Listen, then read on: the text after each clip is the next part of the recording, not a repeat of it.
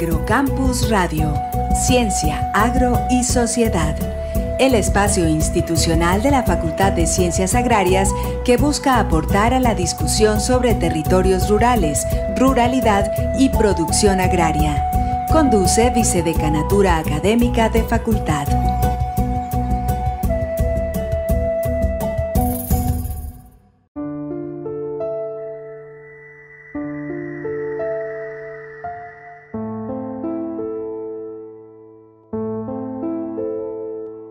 Confundas con el que saquea, soy el que marcha. No me confundas con el que quema, soy el que canta. Amante de la justicia, cual Quijote de la Mancha y preparado para gritarlo así me duela la garganta. Yo soy aquel que devolvió al anciano la cartera y luego por negligencia murió en la sala de espera. Soy el que necesitaba un chequeo general y recibió la orden de cirugía en su funeral. El hijo de la madre con pensión miserable de un tercio del sueldo mínimo, nunca ajustable. Y a pesar de que el banco ya su casa quitarle. La doña para mí siempre trae una cara amable. Yo represento al que en su cuello nunca lleva lajas, al trabajador que estudia, al estudiante que trabaja, al ateo, al converso, al que cree en el universo y al que siempre lleva en su mochila la coca, el almuerzo. Voy tomado de la mano con la madre soltera, la que siempre da un buen consejo sin que se lo pida. Voy con el señor que vende aguacates en la acera, con el niño sin juguete y la señora que lo cuida. Malabarista de la vida con buen ánimo, que trata de hacer. Buenas noches, les damos la bienvenida a su programa Agrocampus Radio, el espacio institucional de la Facultad de Ciencias Agrarias que busca aportar a la discusión sobre la ruralidad, territorios rurales y la producción agraria. En nuestro programa de esta noche conversaremos sobre cannabis, un tema que abordamos en el año 2019 para referirnos a los demonios, mitos y tabús que aún persisten alrededor de esta planta. En esta ocasión conversaremos sobre la convocatoria realizada por la Mesa de Cadenas Productivas, la Mesa de Ciencia, Tecnología e Innovación Agropecuaria del Departamento de Antioquia y Agrosavia para la construcción de la Agenda de Investigación, Desarrollo e Innovación de la cadena de cannabis medicinal e industrial de Antioquia. Este taller se realizó el 13 de abril del 2021 y en él participaron tres de nuestros profesores adscritos al Departamento de Ciencias Agronómicas.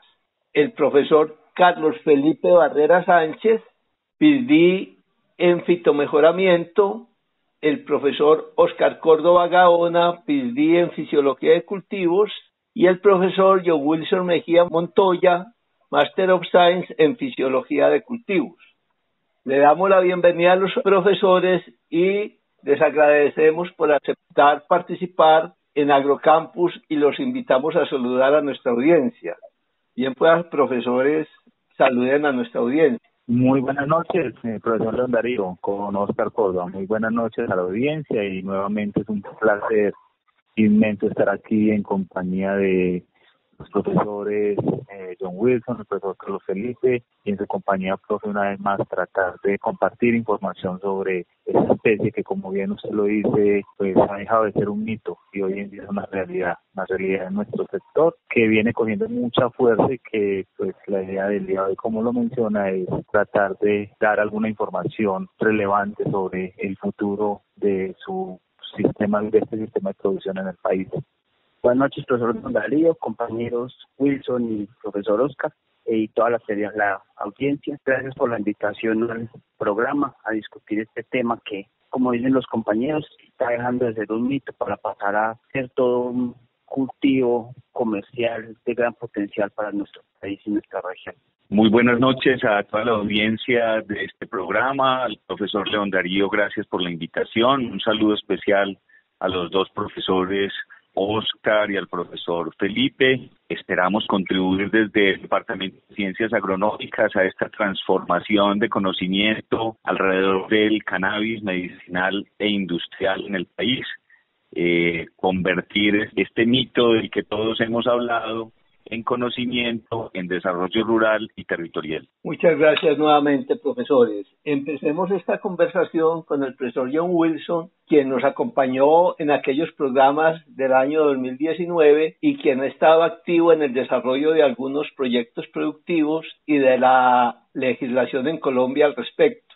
Profesor John Wilson, cuéntenos de manera sucinta cómo ha avanzado en Antioquia tanto el establecimiento de proyectos productivos como la parte legislativa al respecto a nivel nacional.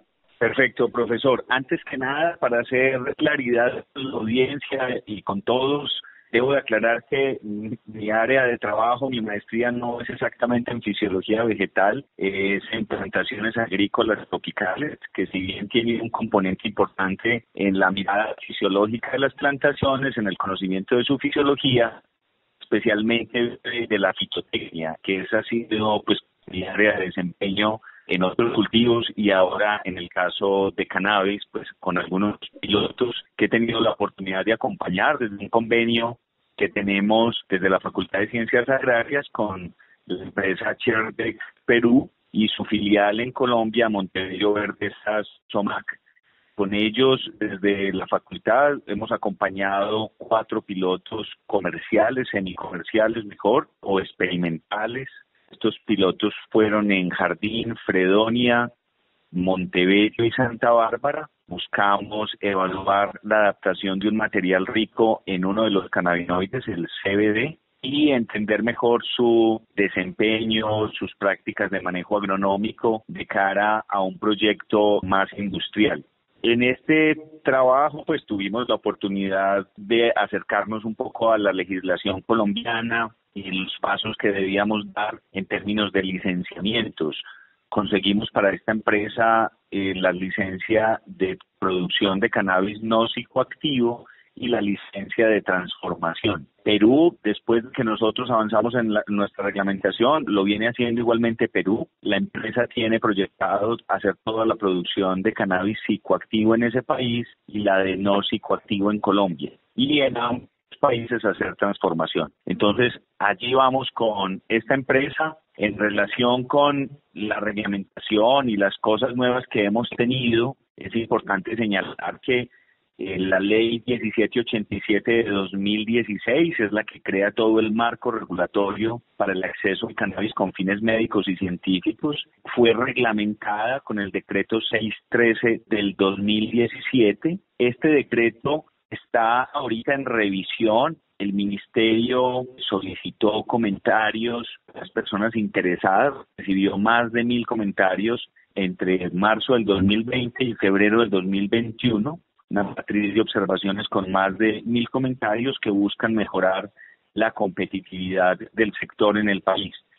Hay unos cambios fundamentales que se deben venir con esta reforma al decreto, en especial lo que tiene que ver con exportación de flor seca, abandonar la premisa de integración vertical que obligaba o que ponía como paradigma que quien tenía la semilla certificada en Telica, la sembraba, la cosechaba, la secaba y la transformaba. Este cambio en la legislación es muy importante porque nos va a permitir exportar directamente flor seca y no descartar esa flor, no inutilizarlo cuando no era posible, cuando no es posible su transformación por el producto licenciado. Otros cambios que se deben venir para esto que se esté, reglamentado a diciembre del 2021 es permitir la publicidad de productos de cannabis no similares a los que existen para otros productos fiscalizados, una mayor agilidad en los trámites de licenciamiento y asignación de tipos, obtener registros sanitarios para suplementos dietarios a base de cannabis, entre otros cambios. Eso es más o menos lo que tenemos a fecha de hoy en la reglamentación tal vez por agregar que ya tenemos, bueno, eh, hay un cambio también importante y es que las licencias de transformación que antes manejaba directamente el Ministerio de Salud pasaron a manos de INVIMA, el Instituto Nacional de Vigilancia de Medicamentos y Alimentos, es quien está administrando estas licencias. Y lo otro es que tenemos acceso a zonas francas para el manejo de las flores y la transformación de las mismas, lo que no teníamos antes. Ahora sí tenemos posibilidades de llegar con las flores a zonas francas. son como los grandes cambios que hemos tenido y que vendrán en la legislación colombiana para el uso de cannabis medicinal e industrial. Profesor John Wilson, ¿y cómo van esos proyectos actualmente en los cuales usted ha tenido participación? Bueno, esos proyectos desafortunadamente han tenido un freno en parte pues por las mismas razones de pandemia que nos han dificultado la movilidad, las reuniones con trabajadores, etcétera. Y bueno, y también por supuesto eh, la incertidumbre que ha generado toda la pandemia y los inversionistas que tanto se atreven a tener recursos en medio de estas condiciones. En parte por la pandemia, en parte por nuestra reglamentación colombiana, pues que restringe la comercialización de la flor seca desde algunas asociaciones como Azocolca. Esto se ha venido agilizando, tramitando frente al Estado colombiano, frente al legislativo, y bueno, eso, eso generará otro ambiente en los inversionistas que nos permita avanzar, retomar el rumbo de, licenciamiento, producción y transformación. Pero por el momento, un tanto disminuida la velocidad con la que veníamos hace dos años. Con un sueldo mínimo, con la sonrisa medio puesta y casi pálido, trabajando horas extras sin chistar porque es un tímido.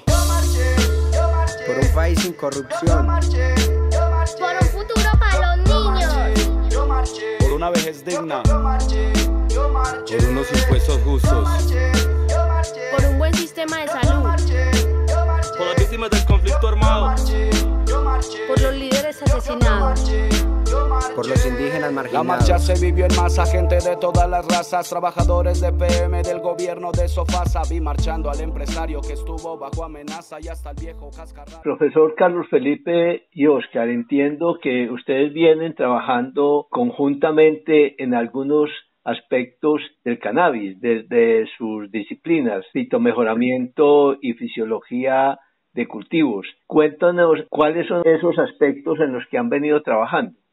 Sí, profesor Darío, como lo menciona, pues hemos tratado de integrar dos áreas del conocimiento en la agronomía. La una es el mejoramiento, el mejoramiento vegetal, y la segunda es la fisiología. Esa unión, esa integración de estas dos áreas no es algo reciente, pero sí es algo que se ha venido trabajando en los últimos años por otras instituciones en otros cultivos, por ejemplo, CIMIT en trigo y y maíz. Y es lo que se define hoy, lo que se denomina el fitomejoramiento fisiológico. Es como, además de esas variables que anteriormente se consideraban importantes en un programa de mejoramiento, como era rendimiento, tamaño en fruto, o producción de hoja, o producción de biomasa, también como algunos aspectos fisiológicos, o sea, algunos aspectos del funcionamiento de la planta, le sirven al fitomejorador para que en conjunto con esos otros o esas otras características tradicionales, él pueda hacer una mejor selección o puede encontrar dentro de esa variabilidad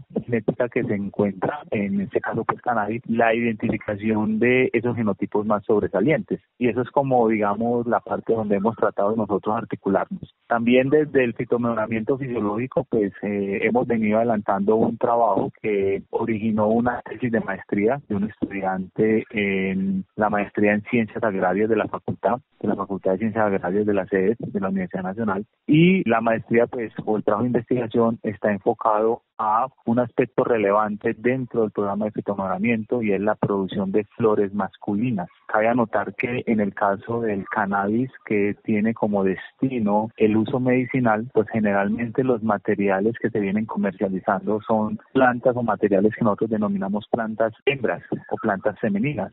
Quiere decir que son plantas que solamente producen flores femeninas. Entendemos que para poder generar, originar semilla, pues necesitaríamos el otro complemento que son las flores masculinas. Y el trabajo entonces busca es cómo nosotros a partir de plantas que tienen esa característica de feminicidad, podemos revertirlas e inducirlas a que produzcan flores masculinas. Teniendo flores masculinas y flores femeninas, pues podemos originar programas de cruzamiento para ir avanzando en programas de mejoramiento. Entonces, esa tesis de maestría está enfocada hacia allá, hacia cómo logramos en plantas que solamente producen flores femeninas, inducirlas para que produzcan flores masculinas y así tener pues el complemento. Es un trabajo que ya está en la elaboración del informe final, hay unos resultados muy interesantes, pues que por eh, lógica razón, dado la, o sea, al conservar un poco el manejo del dato,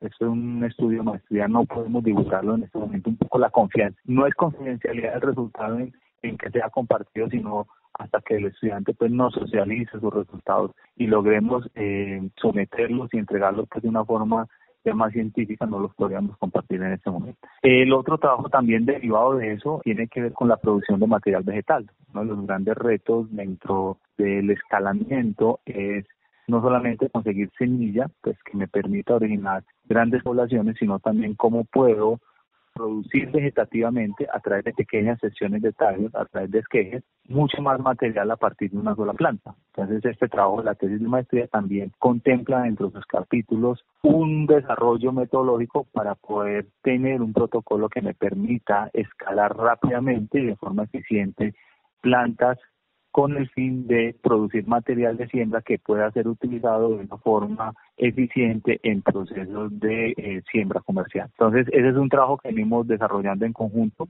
Eh, ahorita hablamos del fitomejoramiento fisiológico, pues aquí va un poco más profundo, que no es simplemente hacer una reversión sexual de esas plantas, sino también entender qué es lo que está pasando desde lo fisiológico, qué características desde la fisiología de la planta pueden estar generando una alerta, nos pueden estar generando información de que la planta está respondiendo a esos tratamientos. Entonces, profesor León, es, un trabajo en conjunto pues que venimos desarrollando, pero hay otras ideas que nos gustaría dejarlas un poco para la segunda discusión que tiene que ver como a partir de aquellos resultados que se originaron del taller para la construcción de la cadena de cannabis en Antioquia. Sí, profesor Oscar y profesor Felipe. Lo que he entendido es un poco desde la fisiología, lo he escuchado de explicar ciertos funcionamientos y mecanismos. Como dicen por ahí, la rivalidad científica que ha habido entre el fitomejoramiento y la fisiología, eh, que dicen que la fisiología llega a explicar lo que el fitomejoramiento ya ha hecho. En ese sentido, ¿cuáles son lo que busca desde el fitomejoramiento el profesor Felipe o que ha identificado que hay que apuntar que es interesante y llamativo para iniciar procesos de mejoramiento en cannabis? Sí, profesor León, o sea, eh, la idea ya es dejar esa rivalidad que había entre fisiología y fitomejoramiento. Eh, pero Felipe, una anécdota porque siempre pues hay que estar ahí como en, en ¿qué? ¿Cómo diríamos? En esas anécdotas que son para distensionar un poco el ambiente. Sí, no, pero eso siempre se ha dicho, o sea, que la fisiología intenta explicar lo que el fitomejoramiento ya hizo. Entonces, cuando el profesor Oscar estamos intentando reverter eso y empezar eh, desde la fisiología eh, entender el mejoramiento. O sea, buscar parámetros fisiológicos que nos den criterios de selección para hacer mejoramiento. O sea, todo lo que hemos estado desarrollando también con el profesor Wilson es intentar entender cómo es el cultivo del cannabis. O sea, el cultivo del cannabis es por todos los conocidos que estaba mitificado, era un cultivo más clandestino, más un cultivo de garaje hasta algunos años y él está saliendo a la legalidad y por ende hay muchas cosas que no se conocen, no se conocen bien sus ciclos tecnológicos, muy bien cómo funciona, si él funciona más en clima cálido o en clima frío o, cuál es el sistema adecuado para él, o sea, lo que se ha hecho con el cultivo es, más una transferencia de tecnología, o sea, ah, no, reemplacemos, sustituyamos flores, hortensias, y sembremos cannabis. Entonces, eh, ¿será que esas condiciones son las ideales para el cultivo? O sea, lo que pasa, por ejemplo, en nuestra región, en Antioquia, de que eh, Río Negro está girando a muchos cultivos de cannabis. ¿Será que Río Negro es la zona adecuada para el cannabis o será mejor eh, una zona más cálida como Santa Fe y Antioquia? Un clima mucho más seco que le permita no tener tantos ataques de botritis y problemas fitosanitarios. Entonces la idea es empezar a mirar todos los componentes fisiológicos que nos den criterios como para trabajar el mejoramiento, porque el mejoramiento hay muchas cosas para hacer desde los materiales, involucrando lo que hablaba todo el Oscar, de reproducción vegetal. O sea, eh, más tarde podemos discutir un poquito eso, de que el cannabis es una planta lógama, por ende es una planta con alta heterogeneidad genética y mucha variabilidad. Entonces yo busco, como decía el profesor Wilson al inicio, un buen contenido cannabinoide de CBD, que es lo que más nos interesa de la parte medicinal. Si yo lo logro obtener, yo necesito saber cómo voy a conservar ese contenido alto de CBD. Si yo lo sigo trabajando por propagación sexual, voy a perder, eh, voy a generar variabilidad. Yo tengo que buscar una estabilidad de esa característica. Y parte de eso es hacer una propagación asexual. Entonces ahí entran los trabajos de esquejes, de cultivo de tejidos. Entonces hay muchas cosas que hay que ir trabajando y muchos rangos desde la agronomía que hay que trabajar dentro del cultivo.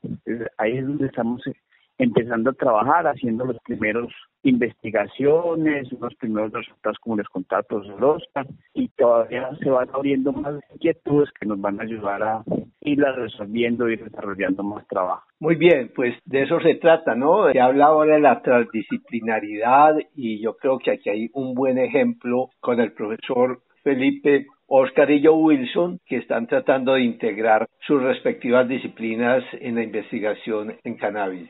Profesores, cuéntenos el contexto en el cual se convoca este taller por parte de Agrosavia, un taller para la construcción de la agenda en investigación, desarrollo e innovación de la cadena de cannabis medicinal e industrial en Antioquia. La dinámica que tuvo teniendo en cuenta que se convoca una agenda pero sin tener la conformación de la cadena, que es fundamental porque es en la cadena donde se construyen las estrategias de participación amplia de los actores involucrados y de manera colectiva se construyen los principios y objetivos de la cadena. Entonces, cuéntenos cómo fue ese taller podemos hacer una, introducción sobre en qué consistió el taller de la definición de las demandas de investigación. Hay que recordar que a través del Ministerio de Agricultura y Desarrollo, en alianza con el Ministerio de Ciencia y Tecnología, son los que coordinan gran parte de la agenda de investigación que se desarrolla en el sector para Colombia y en conjunto pues con Agrosavia, que es la Corporación Colombiana de Investigación Agropecuaria, realizaron un taller eh, no directamente en primera instancia destinado a cannabis, sino un taller de actualización de lo que se ha denominado el PECTA.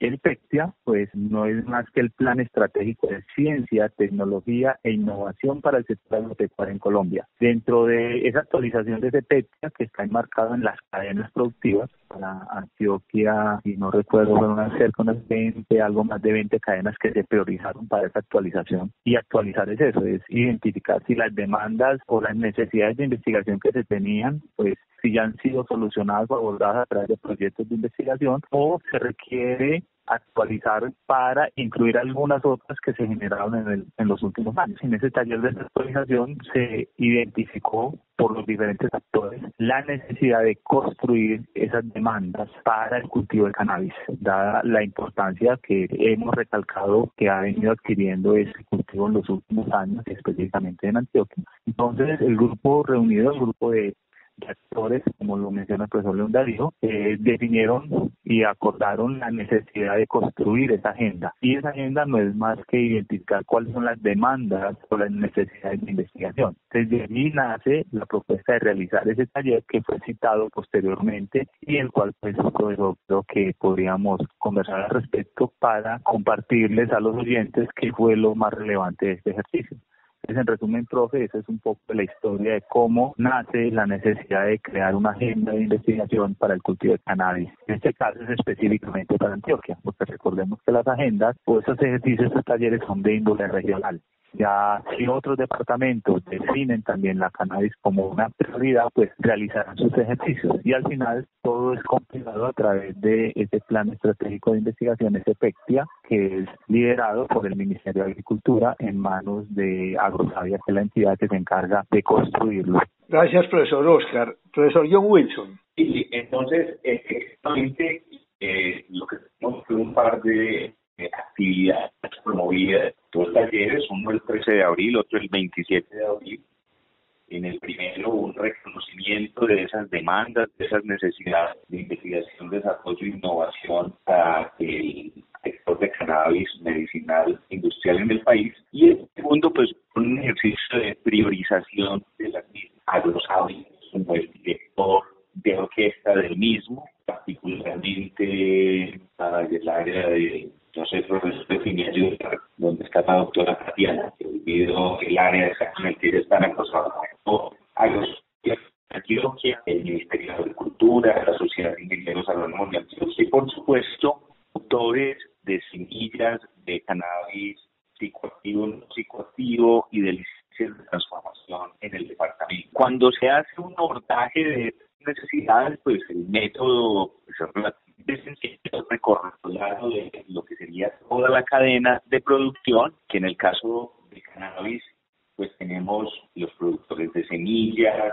las unidades de las unidades de evaluación agronómica, los productores como tal licenciados de cannabis psicoactivo y no psicoactivo, los transformadores, los comercializadores, los proveedores de insumos eh, para el sector, eh, las entidades de apoyo, como en nuestro caso la Facultad de Ciencias Agrarias de la Universidad Nacional, o el mismo Agrosavia, CIADA, otras universidades como La Salle, etcétera, que hacemos las veces de apoyo a la academia y estamos en uno de esos labores cuáles son las necesidades.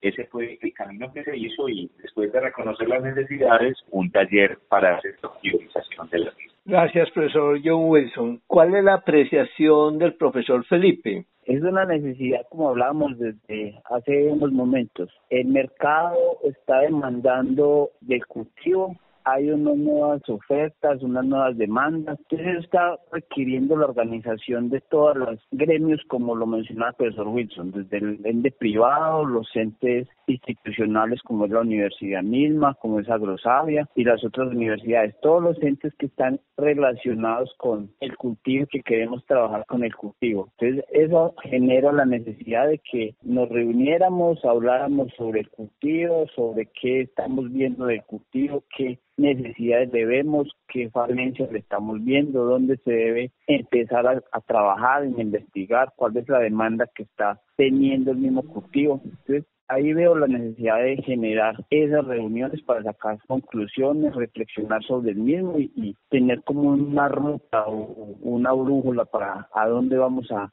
ir guiándonos con el cultivo. Nunca sale de casa mejorable, que si esta historia es mejorable fuera memorable que las paredes del barrio hablen y cuenten que a las madres nadie vino a consolarles y a su hijo lo mataron por liderar un desarme. Soy el escaso de capital que lo ahogan los intereses y a pesar de eso paga luz y agua cada dos meses. Soy el campesino, el indígena que en la tierra crece, el que siembra la comida que a veces ni te mereces. Quisiera ser el que usa palabras en vez de... Muy bien, gracias profesores John Wilson, Oscar y Felipe.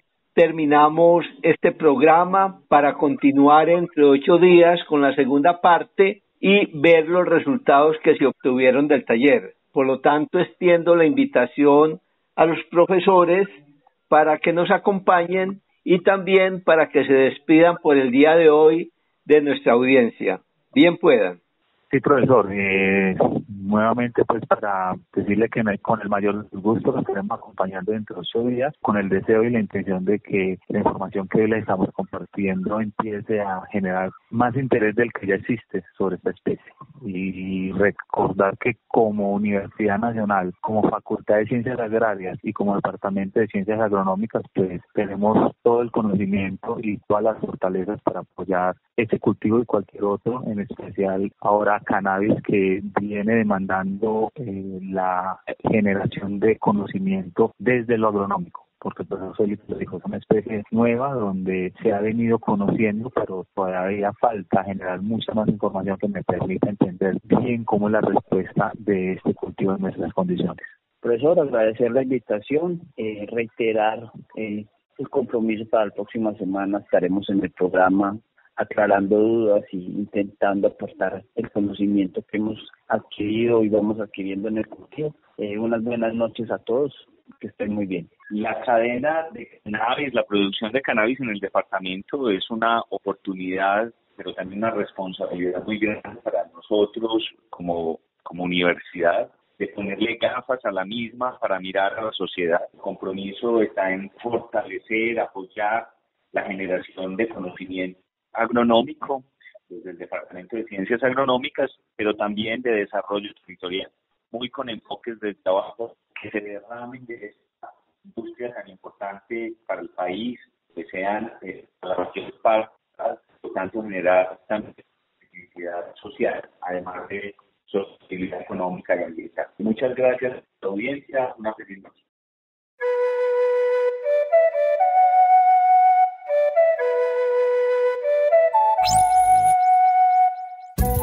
Agrocampus Radio, Ciencia, Agro y Sociedad. El espacio institucional de la Facultad de Ciencias Agrarias que busca aportar a la discusión sobre territorios rurales, ruralidad y producción agraria. Conduce Vicedecanatura Académica de Facultad.